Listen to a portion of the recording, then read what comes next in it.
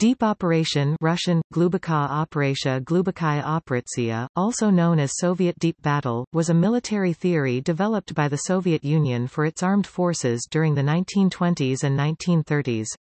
It was a tenet that emphasized destroying, suppressing or disorganizing enemy forces not only at the line of contact, but throughout the depth of the battlefield. The term comes from Vladimir Triandafillov, an influential military writer, who worked with others to create a military strategy with its own specialized operational art and tactics. The concept of deep operations was a national strategy, tailored to the economic, cultural and geopolitical position of the Soviet Union. In the aftermath of several failures or defeats in the Russo-Japanese War, First World War and Polish-Soviet War, the Soviet High Command Stavka focused on developing new methods for the conduct of war. This new approach considered military strategy and tactics, but also introduced a new intermediate level of military art, operations. The Soviet Union was the first country to officially distinguish the third level of military thinking which occupied the position between strategy and tactics. Using these templates, the Soviets developed the concept of deep battle and by 1936 it had become part of the Red Army field regulations. Deep operations had two phases, the tactical deep battle, followed by the exploitation of tactical success, known as the conduct of deep battle operations. Deep battle envisaged the breaking of the enemy's forward defenses, or tactical zones, through combined arms assaults, which would be followed up by fresh uncommitted mobile operational reserves sent to exploit the strategic depth of an enemy front. The goal of a deep operation was to inflict a decisive strategic defeat on the enemy's logistical abilities and render the defense of their front more difficult, impossible—or, indeed, irrelevant. Unlike most other doctrines, Deep Battle stressed combined arms cooperation at all levels, strategic, operational, and tactical.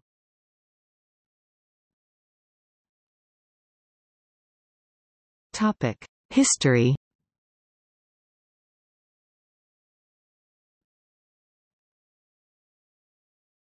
Topic. Before Deep Battle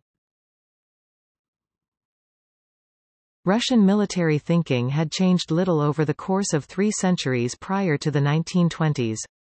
The Russian Empire had kept pace with its enemies and allies and performed well in its major conflicts in the run-up to the 19th century. However, despite some notable victories in the Napoleonic Wars 1803-1815 and in various Russo-Turkish wars, Russian defeats in the Crimean War 1853–1856, Russo-Japanese War 1904–1905 and First World War 1914–1918, together with a series of Soviet defeats at the hands of Poland in the Polish-Soviet War 1919–1921, highlighted the inferiority of Russian methodology in organization and training. After the Russian Revolution of 1917, the new Bolshevik regime sought to establish an entirely new military system that reflected the Bolshevik revolutionary spirit. The new Red Army founded in 1918 combined the old and new methods. It still relied on the country's enormous manpower reserves, however, the Soviet program to develop heavy industry, which began in 1929, also raised the technical standards of Soviet arms industries to the level of other European nations. Once this had been achieved, the Soviets turned their attention to solving the problem of military operational mobility. Primary advocates of this development included Alexander Svechin (1878–1938), Mikhail Frunze (1885–1925), and Mikhail Tukhachevsky (1893–1937). They promoted the development of military scientific societies and they identified groups of talented officers. Many of these officers entered the Soviet Military Academy during Tukhachevsky's tenure as its commandant in 1921–1922. Others came later, particularly Nikolai Varfolomeev (1890–1939) and Vladimir Triandafillov (1894–1931), who made significant contributions to the use of technology in deep offensive operations.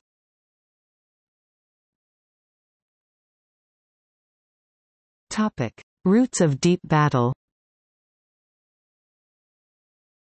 In the aftermath of the wars with Japan and Poland several senior Soviet commanders called for a unified military doctrine. The most prominent was Mikhail Frunze. The call prompted opposition by Leon Trotsky. Frunze's position eventually found favor with the officer elements that had experienced the poor command and control of Soviet forces in the conflict with Poland during the Polish-Soviet War. This turn of events prompted Trotsky's replacement by Frunze in January 1925. The nature of this new doctrine was to be political. The Soviets were to fuse the military with the Bolshevik ideal. This would define the nature of war for the Soviet Union. The Soviets believed their most likely enemy would be the capitalist states of the West they had to defend themselves against before and that such a conflict was unavoidable. The nature of this war raised four major questions. Would the next war be won in one decisive campaign or would it be a long struggle of attrition? Should the Red Army be primarily offensive or defensive? Would the nature of battle be fluid or static? Would mechanized or infantry forces be more important? The discussion evolved into debate between those, like Alexander Svechin, who advocated a strategy of attrition, and others, like Tukhachevsky, who thought that a strategy of decisive destruction of the enemy forces was needed. The latter opinion was motivated in part by the condition of the Soviet Union's economy, the country was still not industrialized and thus was economically too weak to fight a long war of attrition. By 1928 Tukhachevsky's ideas had changed, he considered that, given the nature and lessons of the First World War, the next major war would almost certainly be one of attrition. He determined, however, that the vast size of the Soviet Union ensured that some mobility was still possible. Svechin accepted this and allowed for the first offensives to be fast and fluid, but ultimately he decided that it would come down to a war of position and attrition.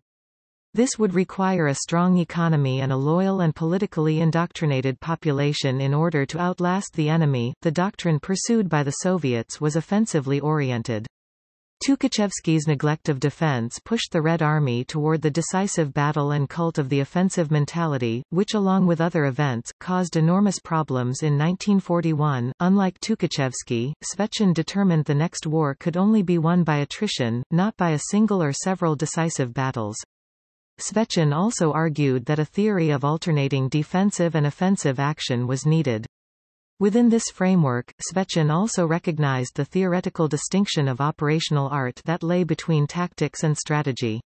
In his opinion the role of the operation was to group and direct tactical battles toward a series of simultaneous operational objectives along a wide frontage, either directly or indirectly, in order to achieve the Stavka's ultimate strategic targets. This became the blueprint for Soviet deep battle. In 1929 Vladimir Triandafillov and Tukhachevsky formed a partnership to create a coherent system of principles from the concept formed by Svechin. Tukhachevsky was to elaborate the principles of the tactical and operational phases of deep battle. In response to his efforts and in acceptance of the methodology, the Red Army produced the provisional instructions for organizing the Deep Battle Manual in 1933. This was the first time that deep battle was mentioned in official Red Army literature.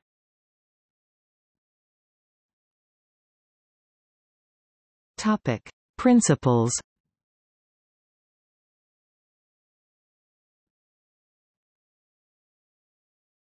Topic. Doctrine Deep battle encompassed maneuver by multiple Soviet Army front-size formations simultaneously. It was not meant to deliver a victory in a single operation, instead, multiple operations, which might be conducted in parallel or successively, would induce a catastrophic failure in the enemy's defensive system. Each operation served to divert enemy attention and keep the defender guessing about where the main effort, and main objective, lay. In doing so, it prevented the enemy from dispatching powerful mobile reserves to this area. The army could then overrun vast regions before the defender could recover. The diversion operations also frustrated an opponent trying to conduct an elastic defense. The supporting operations had significant strategic objectives themselves and supporting units were to continue their offensive actions until they were unable to progress any further. However, they were still subordinated to the main, decisive strategic objective determined by the Stavka. Each of the operations along the front would have secondary strategic goals, and one of those operations would usually be aimed towards the primary objective. The strategic objective, or mission, was to secure the primary strategic target. The primary target usually consisted of a geographical objective and the destruction of a proportion of the enemy armed forces. Usually the strategic missions of each operation were carried out by a Soviet front. The front itself usually had several shock armies attached to it, which were to converge on the target and encircle or assault it. The means of securing it was the job of the division and its tactical components, which Soviet deep battle termed the tactical mission. Terminology, force allocation and mission table The concept of deep battle was not just offensive. The theory took into account all forms of warfare, and decided both the offensive and defensive should be studied and incorporated into deep battle. The defensive phase of deep battle involved identifying crucial strategic targets and securing them against attack from all directions. As with the offensive methods of deep battle, the target area would be identified and dissected into operational and tactical zones. In defense, the tactical zones, forward of the objective would be fortified with artillery and infantry forces. The outer and forwardmost defenses would be heavily mined, making a very strong static defense position. The tactical zones would have several defense lines, one after the other, usually 12 kilometers from the main objective. In the zone some 1 to 3 kilometers from the main objective, shock forces, which contained the bulk of the Soviet combat formations, would be positioned. The goal of the defense in depth concept was to blunt the elite enemy forces, which would be first to breach the Soviet lines, several times, causing them to exhaust themselves. Once the enemy had become bogged down in Soviet defenses, the operational reserves came into play. Being positioned behind the tactical zones, the fresh mobile forces consisting of mechanized infantry, foot infantry, armored forces, and powerful tactical air support would engage the worn-down enemy in a counter-offensive, either destroying it by attacking its flank, or driving it out of the Soviet tactical zone and into enemy-held territory as far as possible.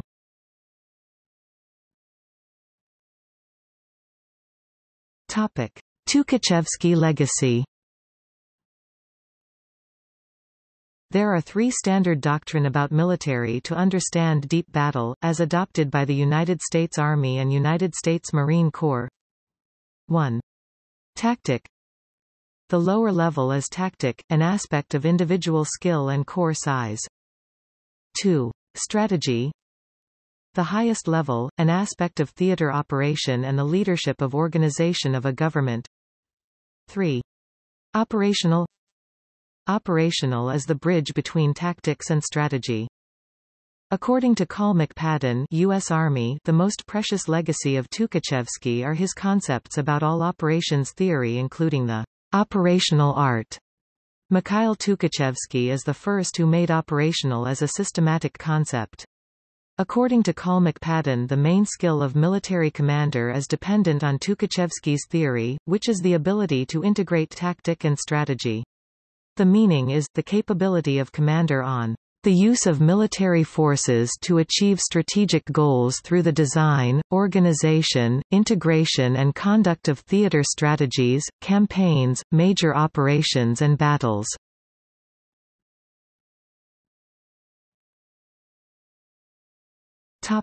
Isserson, the factor of depth Georgy Samoilovich Isserson (1898–1976) was a prolific writer on military tactics and operations. Amongst his most important works on operational art were The Evolution of Operational Art 1932 and 1937 and Fundamentals of the Deep Operation 1933. The latter work remains classified to this day. Isserson concentrated on depth and the role it played in operations and strategy. According to his view strategy had moved on from Napoleonic times and the strategy of a single point the decisive battle and the Moltke era of linear strategy. The continuous front that developed in the First World War would not allow the flanking moves of the pre-1914 period. Isserson argued that the front had become devoid of open flanks and military art faced a challenge to develop new methods to break through a deeply echelon defense. To this end he wrote, we are at the dawn of a new epoch in military art, and must move from a linear strategy to a deep strategy. Isserson calculated that the Red Army's attack echelon must be 100 to 120 kilometers long. He estimated that enemy tactical defenses, in about two lines would be shallow in the first, stretching back some 5 to 6 kilometers. The second line would be formed behind and have 12 to 15 kilometers of depth. Beyond this lay the operational depth, this would be larger and more densely occupied than the first, embracing the railheads and supply stations to a depth of 50 to 60 kilometers. Here the main enemy forces were concentrated. The third zone, beyond the operational depth was known as the strategic depth. This zone served as the vital link between the country's manpower reservoirs and industrial power supply sites and the area of military operations. In this zone lay the headquarters of the strategic forces, which included the army group level. Isserson much like Varfolomeev divided his shock armies, one for the task of breaking the enemy forward or front-line defenses and the other to exploit the breakthrough and occupy the operational zone, while destroying enemy reserve concentrations as they attempted to counter the assault. The exploitation phase would be carried out by combined arms teams of mechanized airborne infantry and motorized forces. The breadth of the attack zone was an important factor in Soviet calculations. Isserson asserted an attack over a frontage of 70 to 80 kilometers would be best. Three or four rifle corps would make a breakthrough along a front of 30 kilometers. The breakthrough zone only under favorable conditions might be expanded to 48 to 50 kilometers with another rifle corps. Under these conditions, a rifle corps would attack along a 10 to 12 km front, with each division in the corps' first echelon allocated a 6 km frontage. A fifth supporting rifle corps would make diversionary attacks along the flanks of the main thrust to tie down counter-responses, confuse the enemy as to the area of the main thrust and delay his reserves from arriving.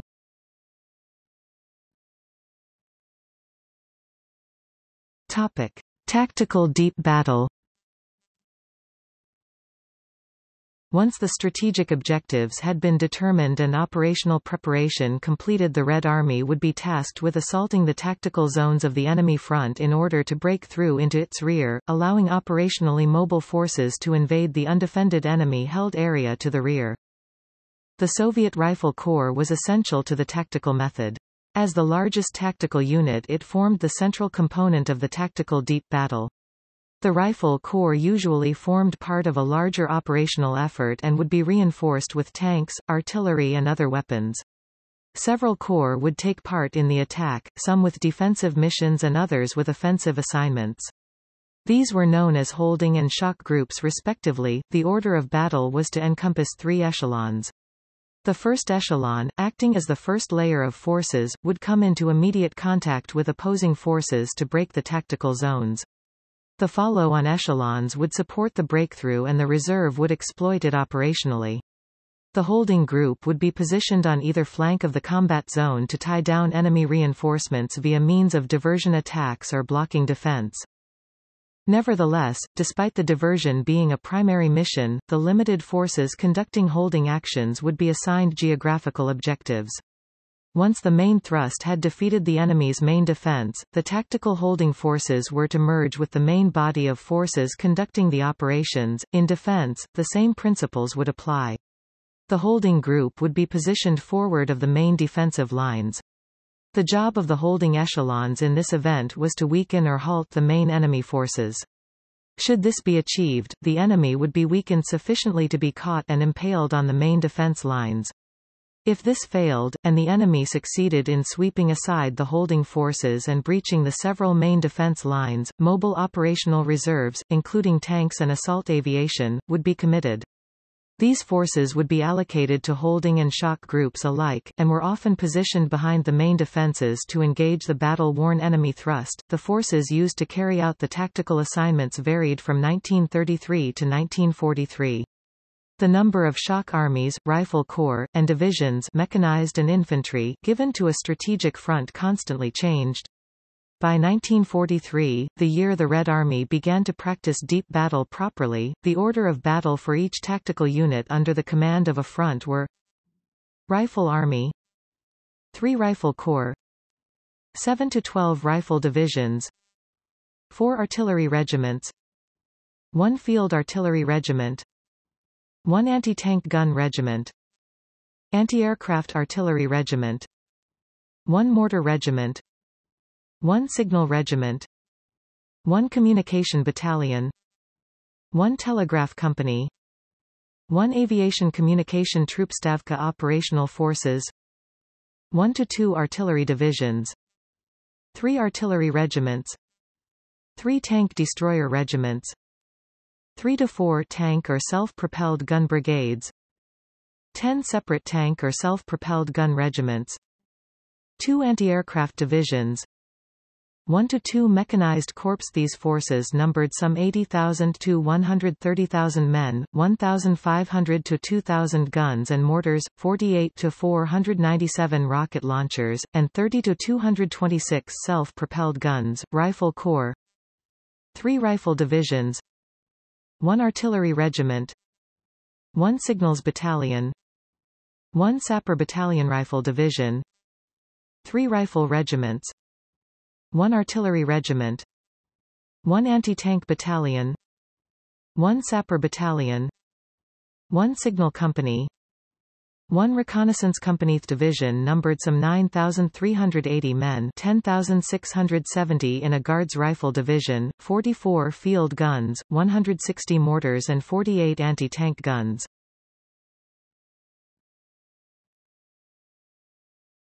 Topic. Deep operation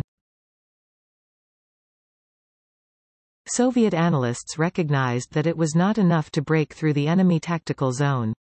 Although it is the first step and crucial, tactical deep battle offered no solution about how a force could sustain an advance beyond it and into the operational and strategic depths of an enemy front. The success of tactical action counted for little in an operational defensive zone which extended dozens of kilometers and where the enemy held large reserves. Such enemy concentrations could prevent the exploitation of a tactical breakthrough and threaten the operational advance.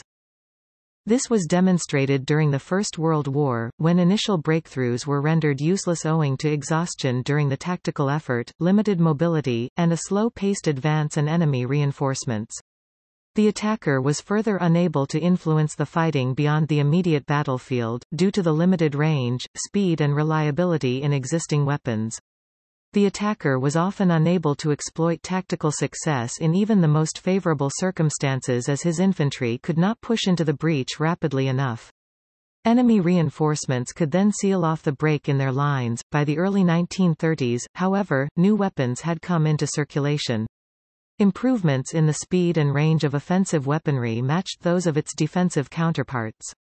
New tanks, aircraft and motorized vehicles were entering service in large numbers to form divisions and corps of air fleets, motorized and mechanized divisions. These trends prompted the Red Army strategists to attempt to solve the problem of maintaining operational tempo with new technology. The concept was termed deep operations, Glubokaya Operatsiya. It emerged in 1936 and placed within the context of deep battle in the 1936 field regulations. The deep operation was geared toward operations at the Army and or front level and was larger, in terms of the forces engaged, than Deep Battle's tactical component, which used units not larger than corps size. The forces used in the operational phase were much larger.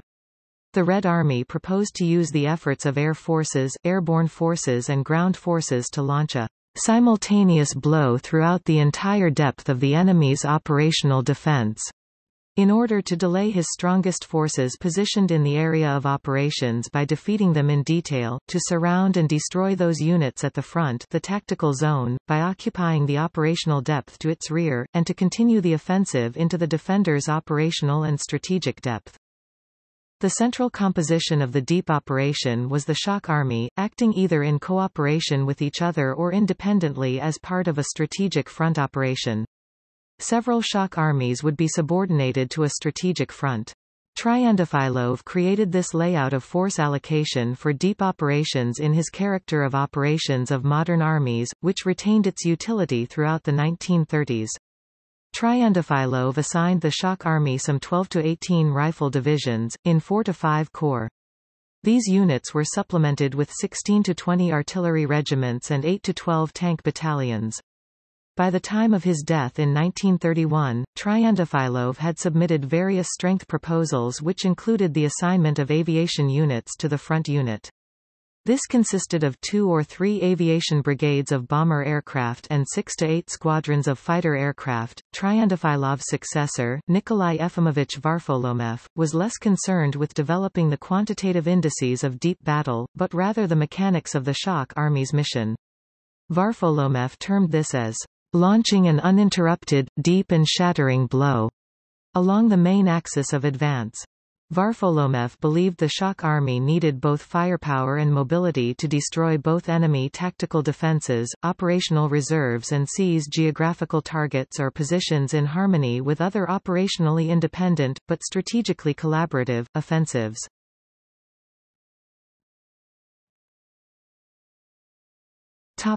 Varfolomeev and the composition of deep operations Varfolomeev noted that deep and echelon tactical and operational defenses should call for equal or similar counter-responses from the attacker. This allowed the attacker to deliver a deep blow at the concentrating point. The new technological advances would allow the echelon forces to advance the penetration of the enemy tactical zones quickly, denying the enemy defender the time to establish a new defensive line and bring up reinforcements to seal the breach. Varfolomeev sought to organize the shock armies into two echelon formations. The first was to be the tactical breakthrough echelon, composed of several rifle corps. These would be backed up by a series of second-line divisions from the reserves to sustain the tempo of advance and to maintain momentum pressure upon the enemy. These forces would strike 15 to 20 kilometers into enemy tactical defenses to engage his forward and reserve tactical forces.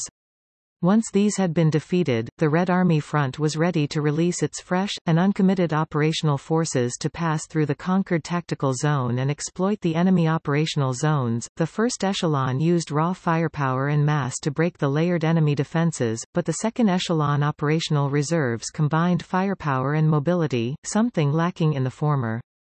Operational units were heavily formed from mechanized, motorized and cavalry forces.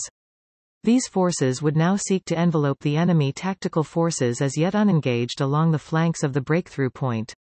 Other units would press on to occupy the operational zones and meet the enemy operational reserves as they moved through his rear to establish a new defenses line. While in the operational rear of the enemy, communications and supply depots were prime targets for the Soviet forces. With his tactical zones isolated from reinforcements, reinforcements blocked from relieving them, the front would be indefensible. Such a method would instigate operational paralysis for the defender. In official literature, Varfolomeev stated that the forces pursuing the enemy operational depth must advance between 20 and 25 kilometers a day.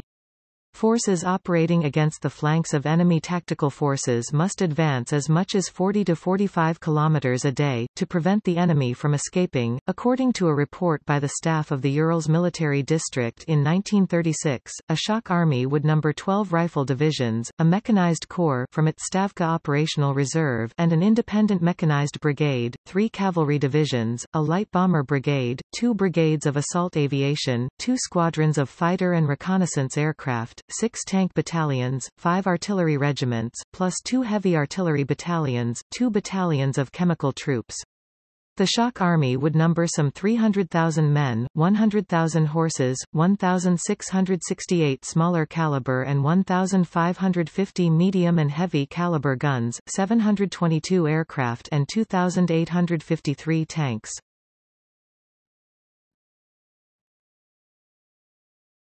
Topic. Deep operations engagement Having organized the operational forces and secured a tactical breakthrough into the operational rear of the enemy front, several issues took shape about how the Red Army would engage the main operational enemy forces. Attacking in echelon formation denied the Soviet forces the chance to bring all their units to bear. This might lead to the defeat of a shock army against a superior enemy force. In order to avoid such a situation, echelon forces were to strike at the flanks of enemy concentrations for the first few days of the assault, while the main mobile forces caught up. The aim of this was to avoid a head-on clash and tie down enemy forces from reaching the tactical zones. The expected scope of the operation could be anywhere between 150 and 200 kilometers. Should the attack prove successful at pinning the enemy in place and defeating its forces in battle, mechanized forces would break the flank and surround the enemy with infantry to consolidate the success. As the defender withdrew, mechanized cavalry and motorized forces would harass, cut off, and destroy his retreating columns which would also be assaulted by powerful aviation forces. The pursuit would be pushed as far into the enemy depth as possible until exhaustion set in. With the tactical zones defeated, and the enemy operational forces either destroyed or incapable of further defense, the Soviet forces could push into the strategic depth.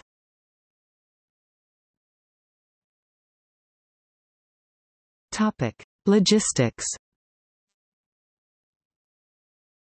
The development of Soviet operational logistics that complex of rear service roles, missions, procedures, and resources intended to sustain military operations by army and front groupings clearly occupied a prominent place within overall Soviet efforts to formulate or adapt warfighting approaches to new conditions.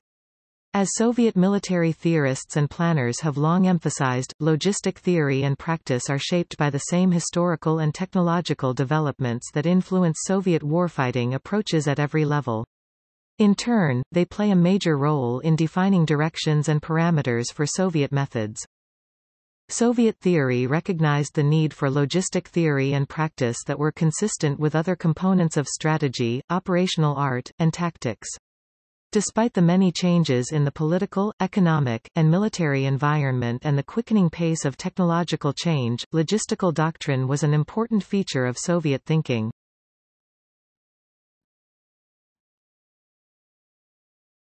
Topic. Intended outcomes, differences with other methodologies During the 1930s, the resurgence of the German military in the era of the Third Reich saw German innovations in the tactical arena. The methodology used by the Germans in the Second World War was named Blitzkrieg.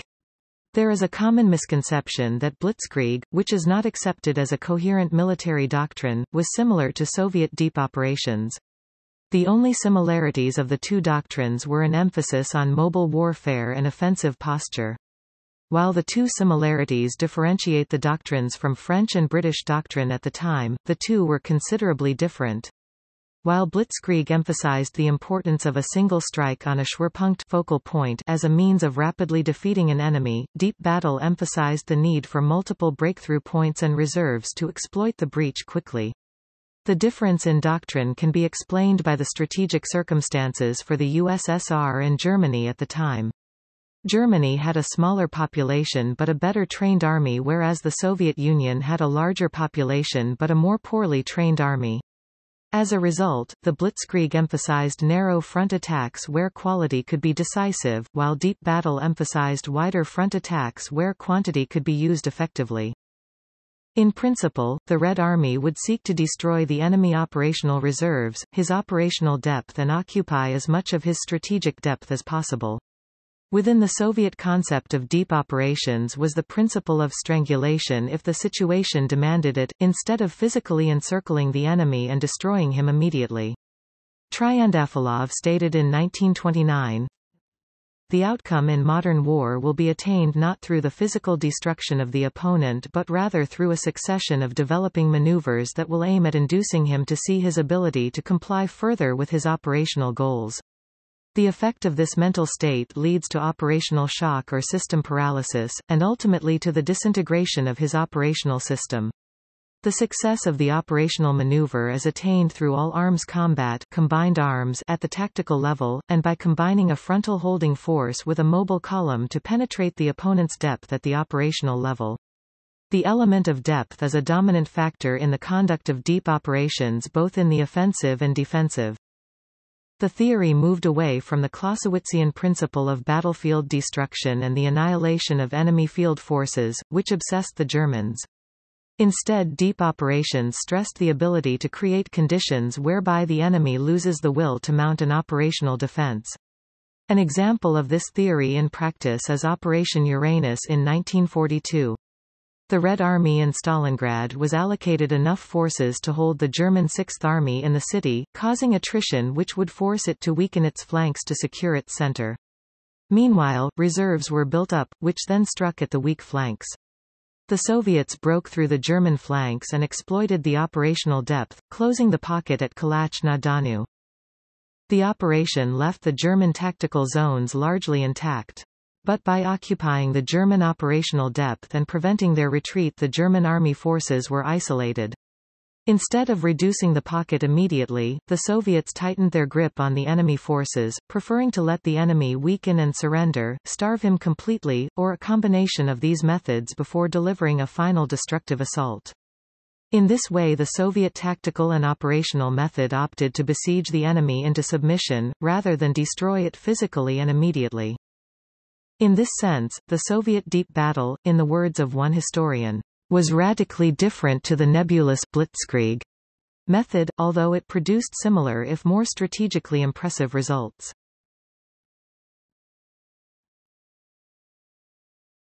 Topic: The impact of the purges. Deep operations were first formally expressed as a concept in the Red Army's field regulations of 1929, and more fully developed in the 1935 Instructions on Deep Battle. The concept was finally codified by the Army in 1936 in the Provisional Field Regulations of 1936. By 1937, the Soviet Union had the largest mechanized army in the world and a sophisticated operational system to operate it. However, the death of Triandafillov in an airplane crash and the Great Purge of 1937 to 1939 removed many of the leading officers of the Red Army, including Svechin, Varfolomeev and Tukhachevsky. The purge of the Soviet military liquidated the generation of officers who had given the Red Army the deep battle strategy, operations and tactics and who also had rebuilt the Soviet armed forces. Along with these personalities, their ideas were also dispensed with.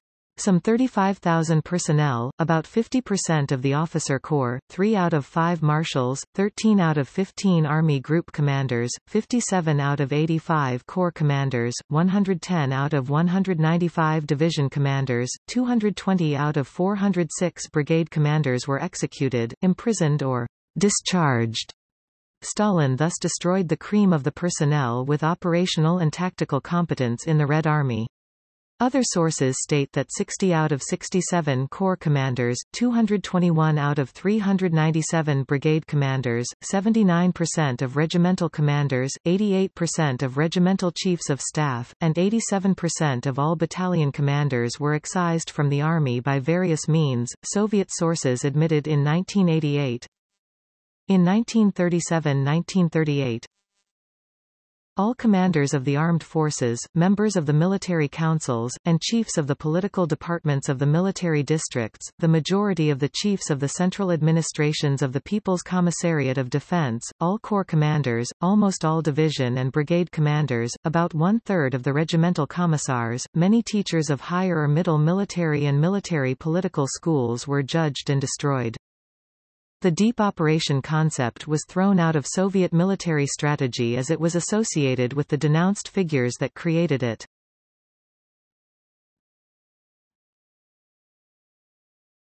Topic. Deep operations during World War II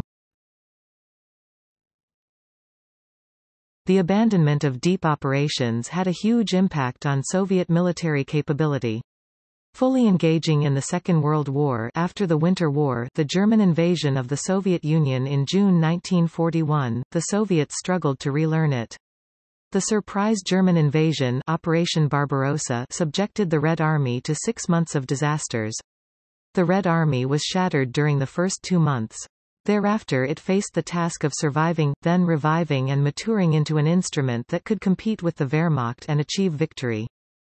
Soviet military analysts and historians divide the war into three periods.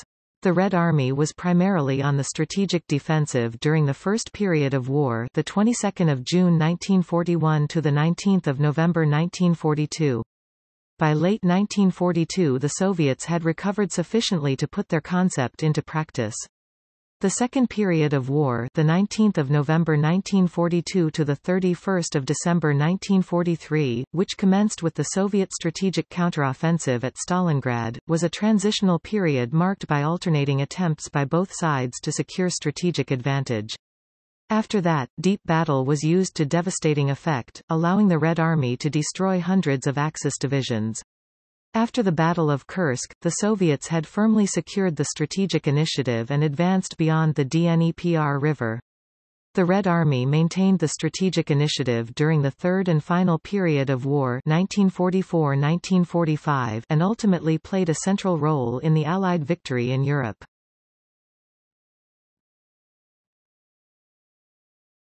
Topic: Moscow counter-offensive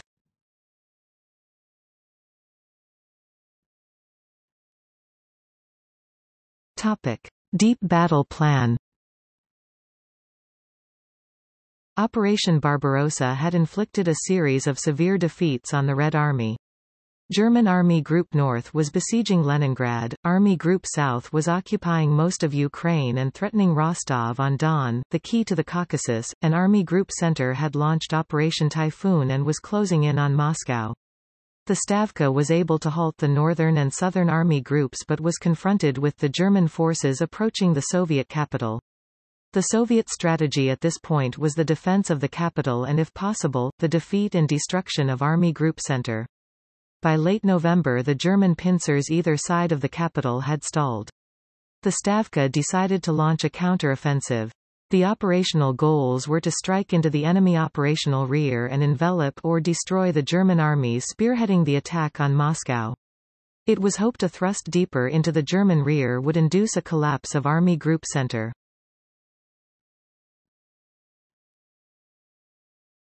Topic. Outcome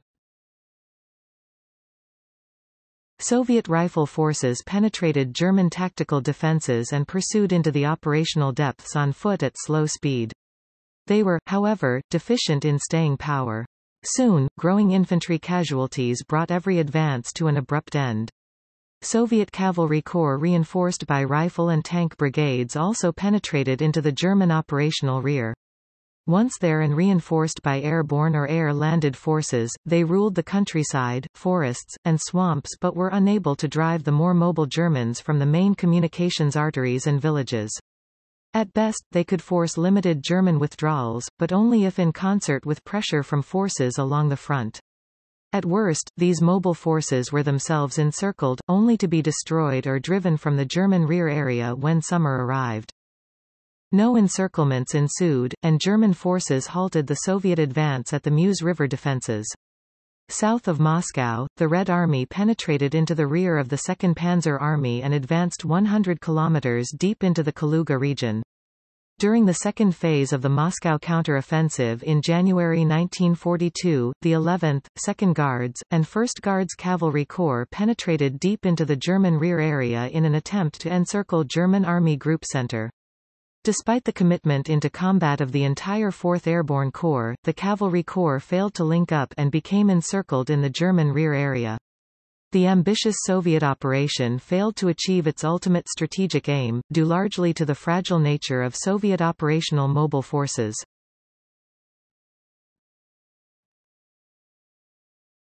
Topic. RZHEV Vyazma offensive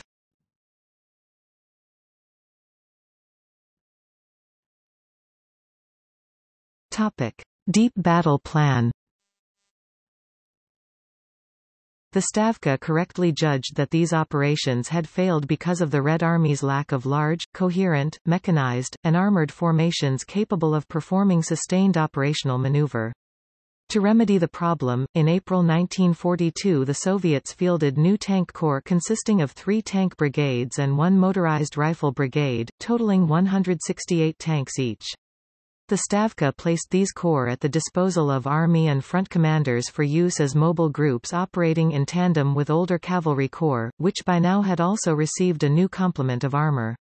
The Stavka employed these new tank corps in an offensive role for the first time in early 1942. During this time, the Germans launched Operation Kremlin, a deception campaign to mislead the Stavka into believing that the main German attack in the summer would be aimed at Moscow.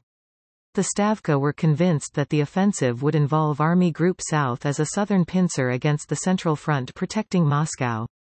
To preempt the German assault, the Red Army launched two offensive operations, the RZHEV Vyazma Strategic Offensive Operation against Army Group Center, and the Kharkiv Offensive Operation known officially as the Barvenkovo-Lozovaya Offensive against Army Group South.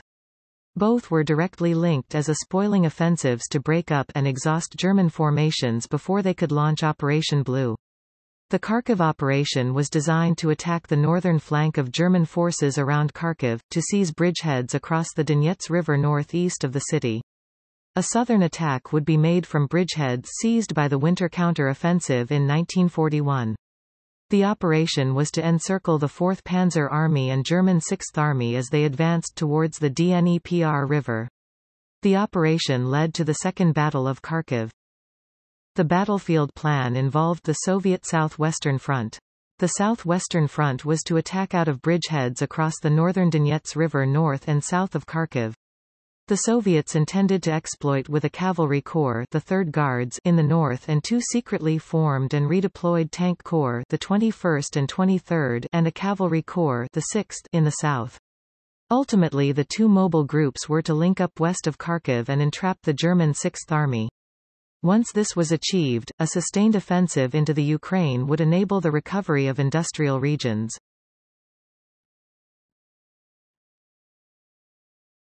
Topic. Outcome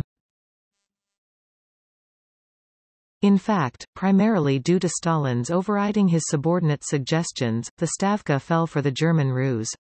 Instead of attacking the southern pincer of the suspected Moscow operation, they ran into heavy concentrations of German forces that were to strike southward to the Soviet oilfields in the Caucasus, the actual aim of Operation Blue. Although the offensive surprised the Wehrmacht, the Soviets mishandled their mobile forces. Soviet infantry penetrated German defenses to the consternation of the German commanders, but the Soviets procrastinated and failed to commit the two-tank corps for six days. The Corps finally went into action on 17 May simultaneously with a massive surprise attack by 1st Panzer Army against the southern flank of the Soviet salient. Over the next two days, the two tank corps disengaged, retraced their path, and engaged the new threat. But it was too late. The German counterattack encircled and destroyed the better part of three Soviet armies, the two tank corps and two cavalry corps, totaling more than 250,000 men. The Kharkiv debacle demonstrated to Stalin and Soviet planners that they not only had to create larger armored units, but they also had to learn to employ them properly.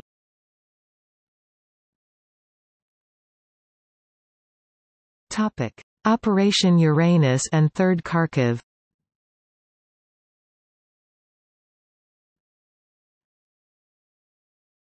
Topic. Deep Battle Plan The Battle of Stalingrad, by October 1942, was allowing the Soviets an ever tighter grip on the course of events. Soviet strategy was simple, elimination of the enemy field army and the collapse of Army Group South. In operational terms, by drawing the German army into the city of Stalingrad, they denied them the chance to practice their greater experience in mobile warfare. The Red Army was able to force its enemy to fight in a limited area, hampered by the city landscape, unable to use its mobility or firepower as effectively as in the open country. The German Sixth Army was forced to endure severe losses, which forced the OKW to strip its flanks to secure its center. This left its poorly equipped Axis allies to defend its center of gravity—its operational depth. When Soviet intelligence had reason to believe the Axis front was at its weakest, it would strike at the flanks and encircle the German army Operation Uranus. The mission of the Red Army, then, was to create a formidable barrier between the cut-off German army and any relief forces.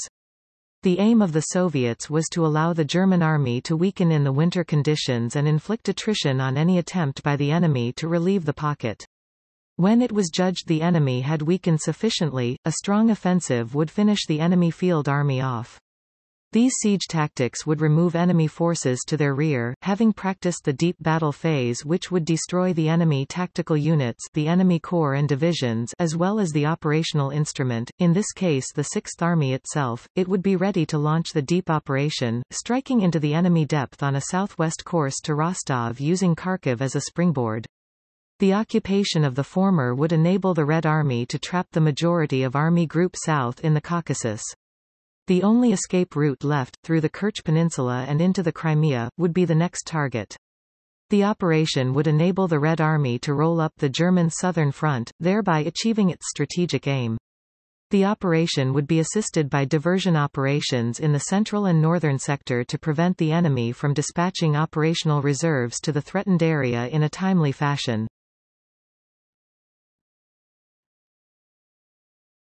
Topic. Outcome Operation Uranus, the tactical deep battle plan, worked.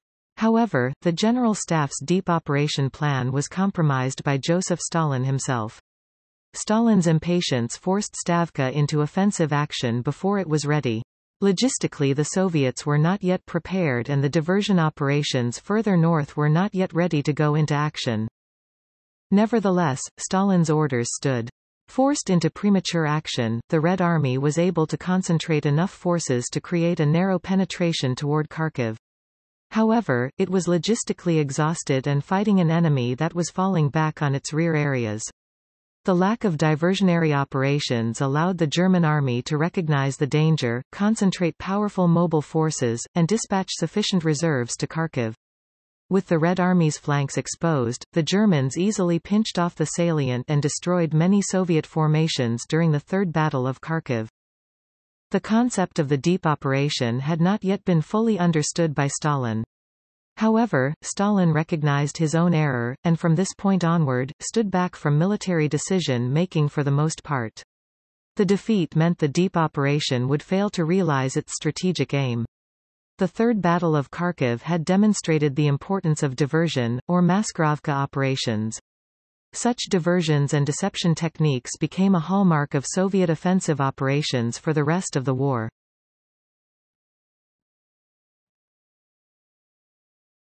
Topic. Kursk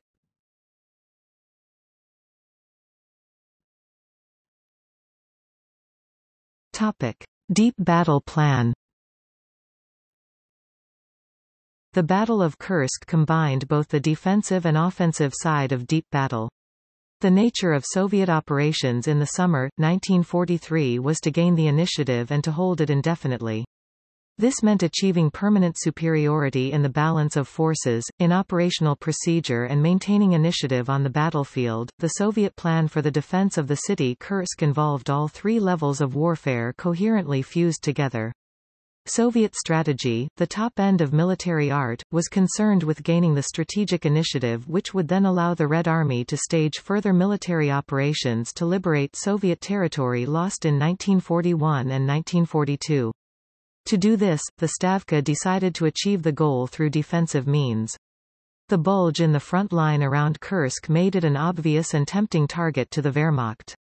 Allowing the Germans to strike first at the target area allowed the Red Army the opportunity to wear down German army formations against pre-prepared positions, thereby shaping the force-in-field ratio heavily against the enemy. Once the initiative had been achieved and the enemy had been worn down, strategic reserves would be committed to finish off the remaining enemy force. The success of this strategy would allow the Red Army to pursue its enemy into the economically rich area of Ukraine and recover the industrial areas, such as Kiev, which had been lost in 1941. Moreover, Soviet strategists recognized that Ukraine offered the best route through which to reach Germany's allies, such as Romania, with its oilfields, vital to Axis military operations. The elimination of these allies or a successful advance to their borders would deny Germany military resources, or at least destabilize the Axis bloc in the Balkans. The operational method revolved around outmaneuvering their opponents. The nature of the bulge meant the Red Army could build strong fortifications in depth along the German axis of advance. Two rifle divisions defended the first belt, and one defended the second. A first belt division would only defend an area of 8 to 15 kilometers wide and 5 to 6 kilometers in depth. Successive defense belts would slow German forces down and force them to conduct slow and attritional battles to break through into the operational depths. Slowing the operational tempo of the enemy would also allow the Soviet intelligence analysts to keep track of German formations and their direction of advance, enabling Soviet reserve formations to be accurately positioned to prevent German spearheads breaking through each of the three main defense belts. Intelligence would also help when initiating their own offensives Operation Kutuzov and Operation Polkovodets-Rumyantsev once the Germans had been bogged down in Soviet defenses. The overwhelming contingent of Soviet armor and mechanized divisions was given to the operational reserves for this purpose. The tactical level relied heavily on fortified and static defenses composed of infantry and artillery. Anti-tank guns were mounted throughout the entire depth of the defenses. Few tanks were committed to the tactical zones and the nature of the defenses would have robbed them of mobility. Instead, only a small number of tanks and self-propelled artillery were used to give the defenses some mobility. They were distributed in small groups to enable localized counterattacks. Such tactics slowed the Germans, forcing them to expend strength and munitions on combating the Soviet forward zones. The Soviets had counted on the Germans being stopped within the tactical zones. To ensure that this occurred, they distributed large numbers of anti-AFV armored fighting vehicle and anti-personnel mines to the defenses.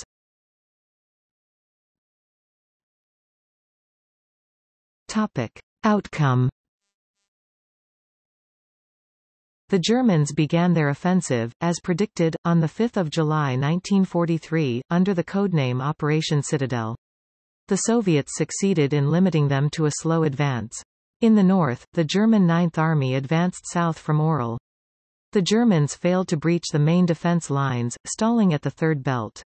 The German armies had been forced to commit their mobile reserves to the breakthrough. This allowed the Soviets to conduct the operational and offensive phase of their plan, Operation Kutuzov. Striking the 2nd Panzer Army, the Soviets' fresh operational forces, heavily mechanized, threatened to cut off the German Ninth Army. Had they succeeded, nothing would have stood between the Red Army and the strategic depth of German Army Group Center's front.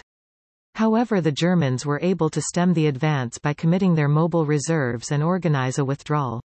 Still, the two German armies had been worn down, and the Soviet forces in the north had won the strategic initiative. In the south, the Soviet plan did not work as effectively and the contingency plan had to be put into effect.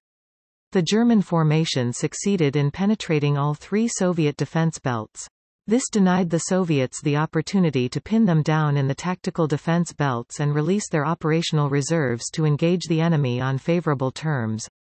Instead, operational forces for Operation Polkovodets-Rumyantsev that were intended for the southern counteroffensive, were ordered to at and near Prokhorovka. This led to the Battle of Prokhorovka. While the tactical deployment and operational plan had not worked as flawlessly as it had in the north, the strategic initiative had still been won.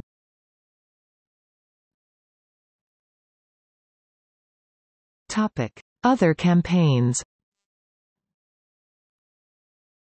With improved material means and tactical aptitude enabling complicated large unit maneuvers, the following later campaigns were able to exhibit an improved application of the deep operation doctrine. Dnieper-Carpathian Offensive Operation Bagration Jassy Kishinev Offensive Vistula Oder Offensive Topic. Cold War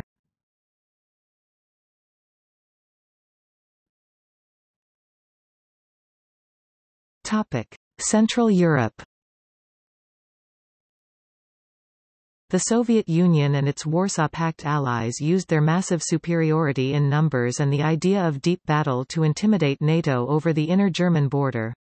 Some Western observers predicted that the Warsaw Pact could use a mixture of speed and surprise to overrun Western Europe in around 48 hours while massive airstrikes using enormous numbers of aircraft would devastate NATO infrastructure and reinforcements, VDV airborne units, Spetsnaz special purpose troops, i.e. special forces and naval infantry would clear the way for the torrent of tank and motor rifle divisions that would soon cross the border.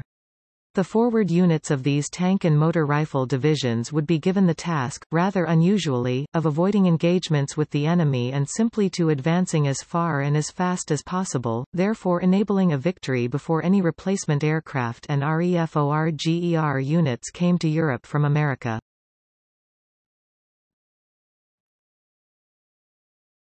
Topic. Asia Ever since the 1960s when the Sino-Soviet alliance came to an abrupt end, the Soviet High Command considered invading China by deep battle offensive operations, envisaging a rapid drive deep towards the latter's main industrial centers before they could have a chance to mount a credible defense or even stage a counterattack. However, the extremely vast numbers of the Chinese army and their knowledge of the terrain, coupled with their then recent possession of nuclear weapons, made such a drive the Soviets were to execute extremely unlikely. Although both sides nearly went to war in three separate occasions in 1968, 1969 and 1979 respectively, the Soviets were rather hesitant to go to war and invade China, thanks to the fact that both possessed huge armed forces and nuclear weapons at their disposal.